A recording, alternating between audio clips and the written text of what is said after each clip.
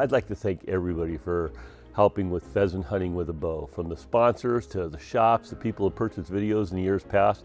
We've held off on selling it for years now, and as a thank you to basically you people on YouTube.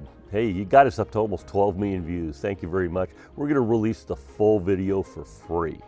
So we broke it down into four parts.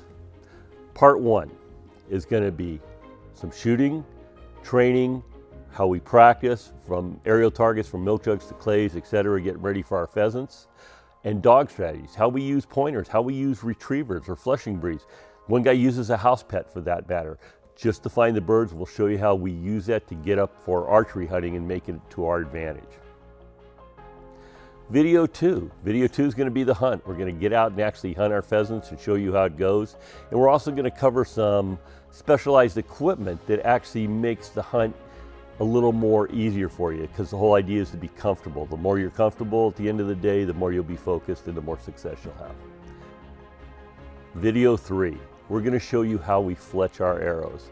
Um, I do a very specific fletching that gets a really clean uh, flight for a flu-flu um, off the arrow rest, which is kind of a difficult thing to do. I shot a lot of slow motion, watched it, and uh, you'll see the fletching I use. Uh, it makes it really easy to hit targets. Video four, it's your time to reap the rewards. I got a friend of mine that's a top chef. He'll deny that, but he's a fantastic cook. And he cooks a meal uh, for pheasants, quite honestly, to die for. And we'll have that full uh, cooking episode. We got a whole bunch of other videos. Um, uh, some of me selecting equipment, how to pick out a compound. I got a compound this last year. It was fantastic. Um, a Ventum 33 from Hoyt. Uh, fantastic arrows. I'll show you the arrows I got, match one uh, uh, arrows that are just uh, incredible flying arrows. Uh, the accuracy is unbelievable. We'll discuss that. And uh, I got a couple more videos coming out, chasing elusive back tension. We're going to be covering that shortly. And got a whole bunch of stuff for you, so you can check them out at Archery Only or on my YouTube site. We also got videos if you're interested in the pheasant hunting or just shooting aerial targets. We got a whole series of videos already up that show you how to hit targets out of the air, step by step. Uh, disregard the ad in the beginning of the video. We basically put a plug in there for the video for sales. We don't do it anymore. The video's for free. So just enjoy the videos, just skip right through that, get to the aerial targets, and learn how to hit stuff out of the air to amaze your friends. Quite honestly, it's not that hard. If it was, I wouldn't be able to do it. And I'm pretty successful at it. So we're going to show you how to do it. It's basically a lot of fun. Thanks for watching.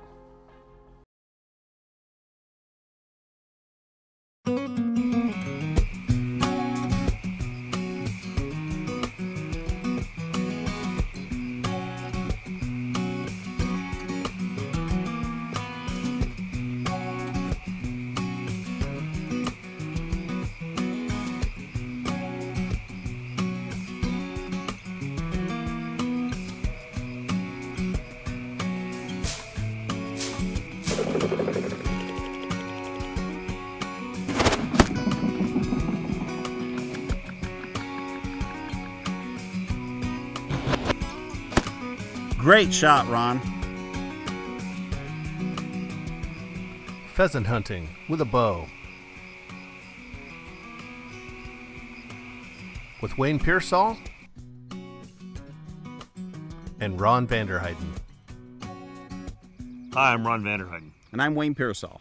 We're up here in Northern California hunting pheasants with a bow at Quail Point and we're going to talk about bow hunting strategies for shooting pheasants out of the air, along with what type of equipment you can use to increase your odds and averages on shooting a pheasant out of the air. Hunting in California, like in most western states, our pheasant season runs 10 to 12 weeks long, and that'll give you an ample opportunity to cut your teeth on your first archery pheasant hunt. But your other alternative is a bird club, like Quail Point. These clubs are virtually open six months a year for dog training and pheasant hunting and this would be your absolute best opportunity to get multiple shots at pheasants and take your first pheasant with a bow and arrow. Ron, why don't you share a few of the tips that you've developed in shooting aerial targets for practice? Well, for pheasants or any aerial targets, we start off at a stationary target. And then we move on to milk cartons, one gallon milk jugs. And then we go to hand thrown clays or thrown out of a trap, which we'll show you. And then it's on to live birds.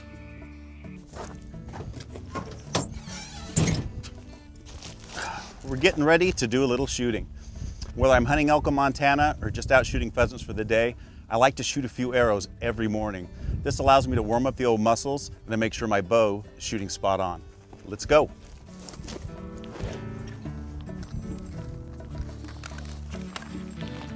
It's as simple as this. If you can keep your arrows inside that yellow jacket bee, you're ready for pheasants.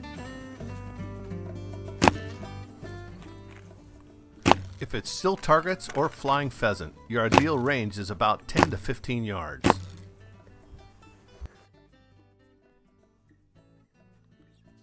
One gallon milk jugs can be stuffed with old rags or carpet to give it a little extra weight so when you're tossing them, they fly a little bit more like a pheasant.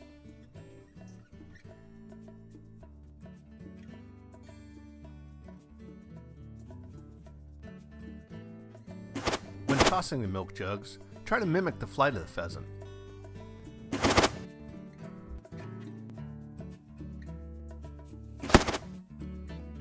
Shooting aerial targets is a blast. Not to mention it's the best training for pheasant hunting with a bow.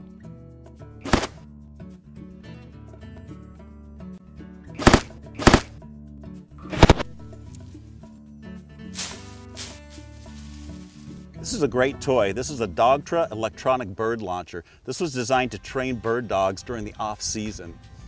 You got a great idea by actually putting clay pigeons in this so we could practice during the off season. Thanks, Wayne. And actually, you can run as many as six launchers off that one controller in your hand. Man. Let her go.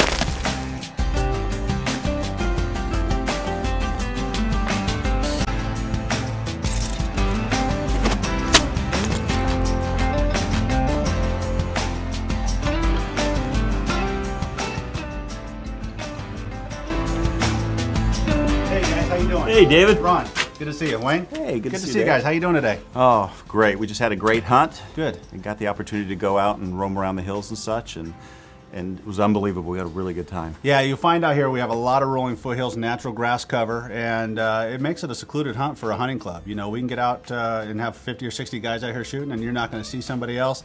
You know, the hills are 250 feet tall. You're in a valley between the two hilltops, and that's your boundaries. And the next hunt's a whole other valley over, and so it makes it a really good secluded area. Makes it a safe way to come out here and try shooting with your bow and arrows. We haven't And, seen uh, it. We haven't seen a hunter all day long. Yeah, and you won't. Uh, you'll see him back here at the clubhouse. You'll see him checking in. But the nice thing about our property, and it really sets up nice, is when you go out to a hunt, uh, you're going to feel very secluded, and it's going to be a very safe situation. It's really green. It's the first part of April basically. And this is the latest I've ever hunted pheasants. It's been great. Yeah, we're shooting about seven months out of the year now. We start the second Saturday of October uh, when we can start shooting pheasants, and we'll go all the way to the end of April, if not the middle of May, depending on the weather for the dogs. So it gives us a good six and a half, seven month season. You know, the wild bird season's only six months or six weeks long, and uh, this gives guys a chance to get out here, get the dogs tuned up and warmed up before the wild bird season, go do their whole wild bird season, and we still got a few more months of hunting after that. Now, when you plant birds, I noticed that you guys do a lot of specialty plants. Yeah, what we do out here is we don't have just one truck go out and plant the whole field. We have six or seven planters out here. Guys will check into the clubhouse. They'll give us some specifics as to what they're trying to get accomplished that day, or if they just want to be surprised a little bit. We radio out to our guys. They meet you at the field. They'll talk to you about what you want to do. They'll go out into your field, plant your birds. They'll come back and talk to you one more time. So we talk you through the whole process. We make sure that you understand everything, get all your questions answered, and then you can go out and shoot till three o'clock. There's never a limit. And there's never any extra charge on any extra bird you shoot out here. So it's like a custom plant for every hunter. It is. A lot of people have some specific things they want to get done. Uh, you know, they got to get back to get to the kids' soccer games, or and they want to get in and out. Yeah. Uh, we're doing some dog training, or we're doing some, you know, working some dogs that are a little older and uh, can't go all day. And then we've got guys that have the young dogs. They want to get challenged a little bit. We'll go to a 60 or 70 acre field and surprise them. We've got everybody that wants, you know, the easy hunts to the hard hunts and everything in between. Great. Well, we've had a good time. We're actually going to eat some lunch and get right back at it. Outstanding. I hope you guys are having a great day. Thanks, Uh, it's David. Good to have you out here. It's been awesome. Thank you Appreciate guys. it. You got it.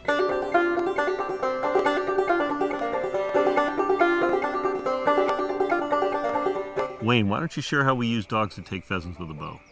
Well, you can use almost any breed of dog when you're hunting pheasants, whether you're shooting a bow or a shotgun. My personal preference, honestly, is to use a pointer. Uh, I own a pointer myself, and he's just a great dog to work behind. The beauty of using a pointing dog when you're hunting pheasants is going to be that when that dog points a bird, you know literally within a few feet where that bird is at.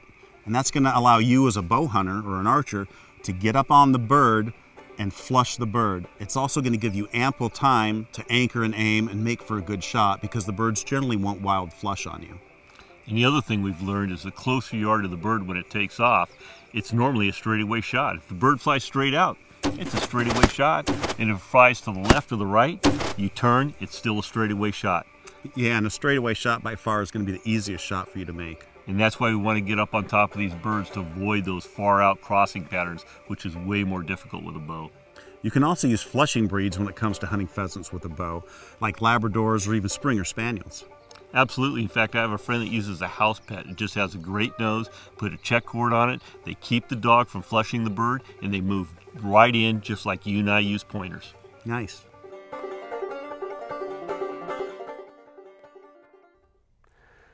Video two, we're actually going to go on the hunt. We're going to show you how a hunt happens, what it materializes, what you're looking for, some of the secrets to gain success on the hunt. And we'll also show you some specialized equipment we use, not to really get pheasants, but to keep you comfortable in the field. And the more comfortable you are, the more energy you'll have at the end of the day, the more success you'll have.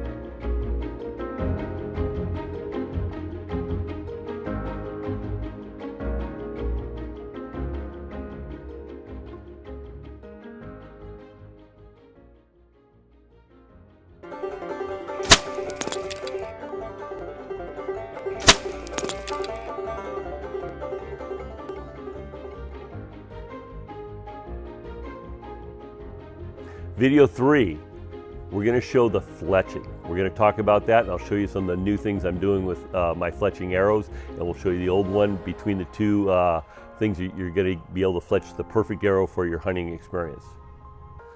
One of the new videos I have coming out is going to be never lose another arrow. Now these are Axis shafts from Easton, bulletproof shaft. This is what I'm using for pheasant now because now it's a heavier arrow and it flies a little longer and faster. I'm, get, I'm able to tag my pheasants out 20, 25 yards. I've done as far as 30, which blows me away. When I hit a bird 30 yards away, I fall down the grass and start doing like snow angels. I can't believe I did that shot. Um, but that's what these arrows do for me because they have the weight and the speed to get there. I'm going to show you how why we paint the shaft. Kerry, a buddy at my uh, club, uh, came up with this. It's been invaluable for finding arrows. I'll show you how that works. Um, we use Luminox, which really brightens up, especially in low light. You can see it a mile away in the field, which is fantastic, helps you uh, locate your nocks. The fe feathers I use, we'll talk about flight and why we use them. And I also put pheasant scent on my feathers before I go hunting. So if all else fails, I put my dogs on my arrows, they go through the field, they point my arrows. I've never lost another arrow. We'll show you how that all works. All right, thanks for watching. Thanks for supporting. Remember to hit all the bells and whistles, all that kind of stuff. I think you guys know what to do. Subscribe. You probably already, hopefully you're subscribed. Thanks again for watching. See you in the field.